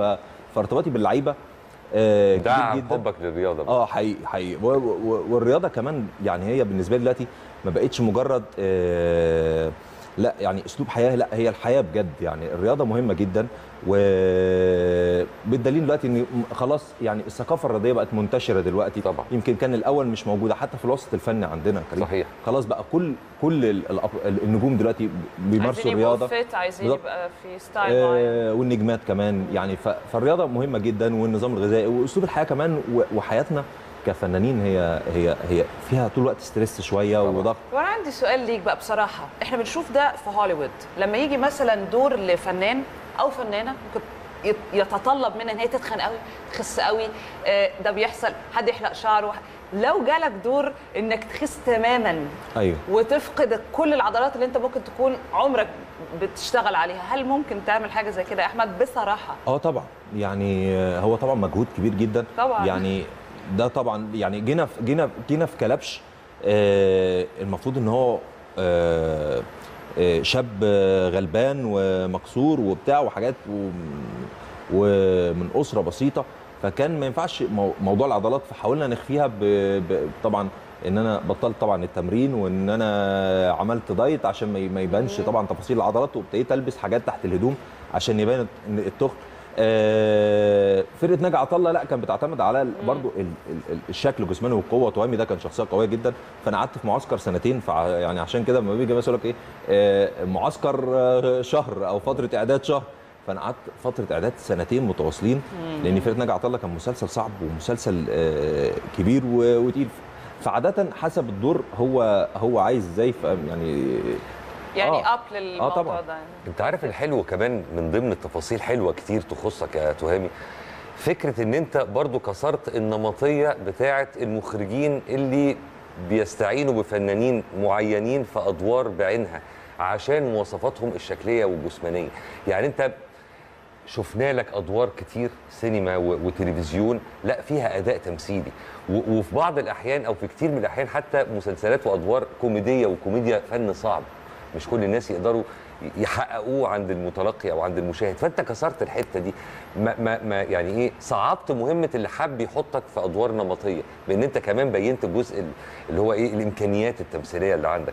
فده حلو برضو جدا. يعني كان كان حظك حلو في التفصيلة دي. حقيقة يا كريم. طبعا انت أنت طبعا الدور اللي أنت بتتمناه دايما طول الوقت آه، مش هيجي لك زي ما أنت عايزه ولا الدور اللي أنت شايفه. الورق بيبقى مختلف. قصة. انت اللي بتحاول على قد ما تقدر وانت طبعا فاهم ده بتقعد تطعمه طعمه وتبتدي تحمل حاجات وتبتدي تشتغل على آه، على الشخصية و- وتبتدي تحط لها آه، ملامح. ساعات كتير بتجي لك أدوار مش محطوطة طبعا. هيستوري ومش محطوطة ملامح ليها وبتقعد تشتغل فيه على قد ما تقدر. وبالذات لما يبقى معاك آه، مخرج آه، كبير ومؤلف مهم كمان آه، بيبقى الموضوع آه، تقدر تعمل تواصل بس طبعا ده ما بيبقاش متاح طول الوقت طبعا. يعني. فطبعا ساعات بتحط حاجات صغيرة وساعات في في ناس تانية تقول لك لأ والله أنت لأ ده. هو زي ما هو مش هتقدر نحط فيه طبعا. قلم. ما هو فبتبتدي بقى تعمل تتأقلم يعني. آه تتأقلم بس في التمثيل بقى يعني. تبتدي بقى أنت تاخدها في الشكل مثلا يعني. ما هو أنت ساعات بتيجي تلاقي مثلا فعلا مساحة الدور صغيرة. حقيقي يعني أنا مش هقدر أتكلم عن أدوار معينة بس أقول صاعات بتيجي تلاقي مساحة الدور صغيرة ومش عارف تتحرك وجنبك ممثلين كتير. فإزاي آه، هتفرض نفسك؟ فطبعا يعني هنا هنا هنا ال- ال- ال- المنافسة اللي إيه آه، زي ما بيقول لك الم- المنافسة الشريفة. آه. فبتقعد بقى بت بتعمل حاجات بتغير في الشكل في اللبس بالطريقة. فهو ربنا ساعتها طبعا اللي بيكرم الواحد يعني.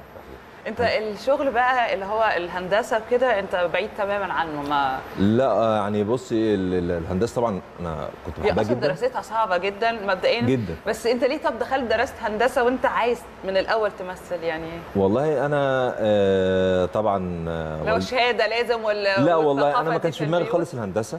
وما كنتش بحب المذاكرة.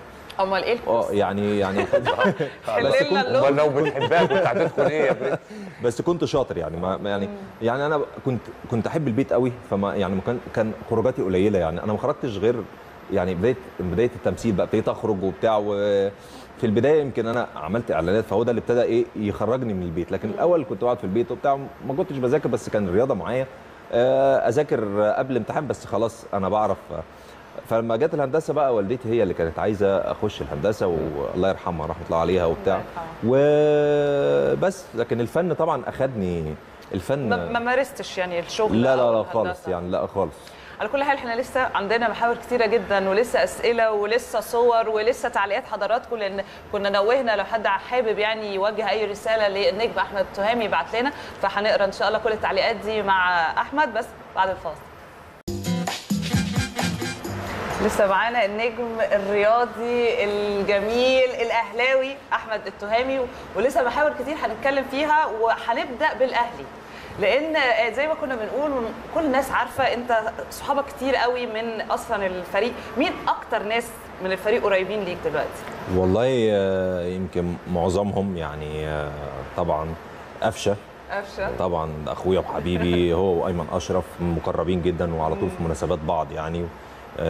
واخواتي جدا. وطبعا شناوي أنا بحبه وصديق يعني طويل وسعد سمير ومحمد الشريف يعني آه، لعيبة كتيرة قوي يعني وأخواتي يعني. وفي الماتشات بقى إيه؟ طبعا أكيد بتتابع كل الماتشات آه طبعاً. لا، زمان الأهلي- بتروح الاستاد أنا عارفة. دلوقتي بح- يعني طبيعة الحال لا خلاص آه، الأهلي أصله أنت عارفة آه، دايما يقول لك إيه اللي, اللي, اللي, اللي, اللي بيحب البطولات ومتعود أيوة. على البطولات يشجع الأهلي. آه. طبعا. واقع و- وتاريخ يا جماعة. ما يعني بنقولش بقى اللي يحب. الفن والهندسة يشجع الزمالك بس. أيوه انت أنت كممثل تقول. بس طبعا بس طبعا.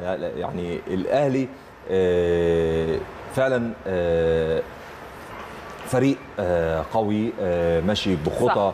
بخطى كويسة في النجاح وهو وعامل شغل كويس في أفريقيا يعني هو تاني المجموعة ولسه ليه ماتشات يعني. آه. يعني ف حقيقي اللعيبة مقاتلة جدا في الملعب آه، عندهم مهارات فردية بس دايما بيلعبوا بمهارات جماعية واللعب جماعي. يعني أنا شايف إن إن في إصرار. دايما يقول لك إيه الأهلي آه لا الأهلي مش آه مش حلو الماتش ده أو مم. مش آه مش فايقين مش فايقين. قوي، آه. وفجاه تلاقي آه، الأهلي بيقاتل لاخر دقيقة وتلاقي الجون في الدقيقة طبعا. 90 إحنا دقيقة مع 90 مرتبطه طبعا القفشة. القفشة ممكن. القضية طب ممكن أنت بمناسبة يعني يعني قربك قوي من من معظم لعيبة الفريق الأول لكرة القدم في النادي الأهلي على الصعيد الشخصي بقى والإنساني يعني هل بيكون في فجوة بين وجهة نظر الناس اللي قاعدين بيتفرجوا المشجعين وبين اللاعب يعني مثلا مثلا حد زي قفشة أو غير قفشة. يعني حد مثلا إيه آثار جدل معين في, في, في, في لقطة من لقطات المباراة والناس كلها قالت حاجة معينة عليه. أنت بقى لما بتلتقي معاه على الصعيد الشخصي والإنساني تقول له مثلا الناس كلها شايفة كذا كذا أو الناس كلها معظمهم بيقولوا كذا كذا على على اللعبه الفلانية. هل بيبقى يعني بي- بيدور حو... يعني ما بينكم النوع ده من الحوارات وهو يقول لك لا أنتوا مش واخدين بالكم إن ساعتها كان كذا؟ يعني فاهم قصدي؟ والله والله بص هو هو هو بيحصل. بس دايما ال- ال- الجمهور انت عارف الجمهور لما بيشجع نادي فمن كتر عشقه فهو آه، انت عايزك تكسب طول الوقت. وعايز يشوف آه، ال- ال- النجم ده هو طول الوقت اللي بيجيب اجوان. ويعني وتحصل على بطولة يعني إحنا خدنا التاسعة تاني يوم العشرة يعني. آه يعني هو هو ده يعني ما عندوش طبعاً. الجمهور ما عندوش آه، مساحة إن لا أنت لعبت وحش المرة دي أو إنك عندك ظروف معينة أو إنك خارج من بطولات تقيلة لعبت بايرن ميونخ و و و و وفريق البرازيل وخارج من بطولات تقيلة. حتى أنا يمكن قلت قبل كده إن الفرقة طبعا مجهدة. دي أكيد. بطولات تقيلة ورا بعض. فلازم في فتره في فترة إعداد بدني إن هم يقدروا يرجعوا تاني للبطولات كويس. والحمد لله عاملين شغل كويس. بيحصل ده طبعا. أنا يمكن ما قابلت آه، وكان يمكن أول مرة أقابله طبعا مروان محسن. فمروان آه، إنسان حقيقي جدع وإنسان طيب. وأنا يعني يعني يمكن المشهد اللي شفته إن هو آه، إن هو آه، الأهلي بيحتفل وهو حزين عشان ضيع على ضربة الجزاء. لا مروان مش آخر المطاف مروان أنت أنت أنت لعيب كبير و ولعيب مجتهد وإنسان محترم حقيقي طبعاً، يعني طبعاً. إنسان محترم جدا. فهو التوفيق بتاع ربنا. فهو هي- هيجي في وقته. يعني انت لا راجل و- بتشتغل. وجه قبل كده كتير. حقيقي. يعني هو ليه يعني- قبل كده تاريخ محترم جدا. حقيقي ليه تاريخ بالظبط. يعني مش هي دي آخر المطاف في لا أنت بالعكس أنت لعيب جامد جدا. فانا طبعا الدعم طبعا لكل أصحابي وفعلا يعني لا بي- بيحصل نقاشات كتيرة جدا ما بيننا وفي الماتشات بيحصل حاجات وبتاع ولازم نقعد مع بعض نتكلم. بيحصل ده كتير جدا يعني. نروح بقى على ال social media أيوة. مش ال social media المنتخب لا ال social media لأحمد نقرأ لك كده شوية حاجات الناس بعتنها بس عايزة أقول لك بجد يعني ناس قايلة لك كلام حلو. أشرف عاطف آه، بيقول القلب الطيب الجدع ابن الأصول أحمد التهامي. ورمضان فتحي منورين الدنيا الناس المحترمة. واكرامي المصري بيقول منور يا نجم النجوم وإسلام حسيني منور القناة يا كابتن أحمد وزينب صابر منور يا نجم النجوم. ربنا يخليكم بص بقى مصطفى بيقول إيه؟ مصطفى بن عادل بيقول لك لا ما فيش أسئلة أنا جاي أحط قلوب للحلقة العظيمة دي. الله merci merci يا مصطفى. هاني الكولي ال إيه ال 3000 إيه ده؟ آه، كام سنة عشان. تقدر تجيب لي جسمك. هو واضح إنه بيسأل عن خدت منك يعني آه، وقت خد منك وقت قد إيه آه، إنك توصل للفورمة دي بس هو آه. الصيغة بتاعته صعبة شوية آه. العمر كله يعني الرياضة من أنت الصغر ابتديت آه من وأنت يعني أنا الرياضة من من الصغر يعني طبعا من سبع سنين سباحة ألعاب قوة بعد كده جودو آه، ونظام أكل جيم آه طبعا يعني يعني. الصغر بس طبعا كل حاجة يعني في أي وقت نقدر نلعب رياضة ونقدر إن إحنا ن- نعوض. صحيح نعوض اللي فات. حماده حبيب بيصبح علينا كلنا وعلى فريق العمل في القناة وبيصبح عليك يا تهامي وبيقول لك منور القناة وبيقول لك سؤالي إيه آخر أعمالك الفنية وما هي أفضل المواقف الطريفة اللي جمعتك مع لعيبة النادي الأهلي؟ ومعاذ حمدي الأزهري بيحيينا وبيحييك وبيقول لك نورت القناة. طيب نرجع بقى لسؤال حمادة حبيب. آه، آخر أعمالك الفنية وأفضل المواقف الطريفة أو أكثر المواقف الطريفة اللي جمعتك مع لعيبة الأهلي؟ والله آه، آخر أعمالي أنا كان عندي فيلم زنزانة سبعة طبعا مع آه، إخواتي أحمد زاهر ونضال الشافعي ومنى فضالي وعبير صبري وإيهاب فهمي. وكان إخراج ابرام نشأت وده كان آخر حاجة في السينما. عندي حاليا بصور يعني مسلسل أنا حابه جدا. جواز. فارس بلا جواز. آه، طبعا مع مع مع أخويا وحبيبي طبعا النجم مصطفى قمر وأنا بحبه جدا. وطول عمرنا يمكن هو مصطفى صديق عمر كمان وطول عمرنا بنقول نفسنا نشتغل مع بعض. والحمد لله يعني أنا بشارك معاه السنة دي في في مسلسل فارس بلا جواز إخراج الأستاذ آه، معتز حسام. آه، وعندي آه، أحسن أب مع طبعا علي ربيع. طب ممكن بقى بمناسبة أحسن أب ناخد سيادة اللواء مصطفى التهامي والد الفنان أحمد التهامي. سيادة اللواء صباح الخير على حضرتك في البداية. طبعا كل صباح الخير. أهلا أهلا بحضرتك. نعوان ده أهلا بيك أهلا أهلا سيادة اللواء أهلا بحضرتك. أستاذ كريم كوجاك أهلا بيك. صباح الفل يا فندم وسعداء. ومتشرفين بوجود حضرتك معانا. أهلا شرف بيك. كبير ليا والله. ده دي نحله يا فندم يعني سيادة اللواء اولا أحمد آه، دخل المجال بس آه، يعني عنده كاريزما وناس حباه جدا والحمد لله مسيرته لحد دلوقتي يعني ناجحة جدا. هل حضرتك لما جه في البداية كده يقول لك أنا عايز أمثل كنت حاسس إن هو هيوصل للنجاحات دي ولا كنت حابب إن هو مثلا يمارس الهندسة كعمل وجنبها يمثل مثلا. عايز أعرف من حضرتك والله هو أحمد بصراحة يعني ابتدى حياته في كلية الهندسة وقعد فيها سنة واثنين وثلاثة ولكن قابل راجل آه، فنان عظيم وأنا حظي كويس مع العظماء دايما. الفنان عادل إمام طبعا وجذبوا لهذا المجال وما قدرتش أحل المشكلة إلا بإن أنا أخليه يكمل بقى في لازم يبقى مؤهلات عليا طبعا. صح فكمل بقى في الزراعة واستمر مع الفنان الكبير عادل إمام يعني. أكتر دور حضرتك بتحبه لأحمد أي دور أو أي عمل يا فندم؟ والله يعني يعني ال- ال- الأدوار كتيرة وأدواره متقنة بصراحة. وأعظم يوم النهارده بشوفه بشوفه في أعظم قناة وأعظم نادي دلوقتي. سلام يا سلام يا بقى. فندم أنا أنا حظك على فكرة كبير في التعامل مع العظماء يعني. أنا طبعا خريج أعظم مؤسسة عسكرية في العالم يعني. طبعا. ب- بلا تحيز يعني. 7000 سنه طبعا طبعا سياده. اللواء آه، سواء كانت الكلية الحربية أو الجيش المصري. صحيح. وعلى فكرة عندنا برضو مؤسسة عظيمة جدا بتساند الجيش المصري في كل الأحوال مؤسسة الشرطة وزارة الداخلية. طبعا. لا تقل عن الجيش في عظمتها بصراحه يكفي الناس دي كانت ورانا في- ورا ظهرنا في حرب 73 يعني البوليس ما شافناش وزارة الداخلية ما سابتناش في حرب 73 كانت ورا ظهر الجيش المصري. طبعا يا فندم طبعا بنتكلم عن يعني آه، مصر. يعني إحنا بنتكلم كده عن المؤسسات بس كلنا في الآخر طبعا مصر دور عظيم جدا. يعني وأكيد كمان تحية لحضرتك يعني سياده اللواء. بس الله يخليك صباح الخير منور آه. الدنيا والله العظيم يا ست اللواء. عامل إيه يا جنرال؟ أنت فاكر يا أحمد لما لما قعدت تعيط أنت وأخوك عشان تروح تتفرج على بيبو؟ والله لسه بقول لهم لسه دلوقتي. لسه والله وقتوني مستنبئ كده وأنا كنت تعبان لكن اضطريت إن أنا اخضع ليهم وخدتهم فعلاً. لسه راجع من الشغل آه كنت وحقيقي لسه راجع من الشغل وتعبان وكان بالبدلة الميري على طول على الاستاد. ورحت وخدتهم الاستاد عشان يتفرجوا على بيبو. زي وحبيبهم النادي الأهلي طبعا. آه حقيقي. لا بس واضح إن محبة أحمد للنادي الأهلي برضو فيها جزء وراثي من حضرتك. يعني حتى نبرتك وأنت بتتكلم عن النادي الأهلي شيء عظيم جدا. إحنا بنحيي كان أول ما حضرتك يخش من البيت يا كريم كان. قبل ما يعمل أي حاجة على طول الماتش شغال يقوم كام هو كام؟ آه يعني آه هو كام كام ويقعد قدام التلفزيون ما يعمل لا ياكل ولا يشرب ولا حاجة جاي من الشغل تعبان يعني صاحب يبقى أنت. مش جايب بقى النقطة دي من بره فعلا. أيوه. سيادة اللواء تشرفنا بوجود حضرتك معانا. صباح الفل الله عليك. فندم. وأرجوك تابع معانا بقية اللقاء مع أحمد. دورت الدنيا فندم. سعيد ب- باتصالي باعظم قناة لاعظم مؤسسة رياضية في مصر. حقيقي حقيقي. نورتنا سياده اللواء. شكرا تحياتي لحضرتك. أستاذ الهوادي أهلا بيك. أهلا بيك أستاذ كريم أهلا بيك. صباح الفل صباح الفل. ده الوالد ما يقلش جمال عنه أوي، آه،.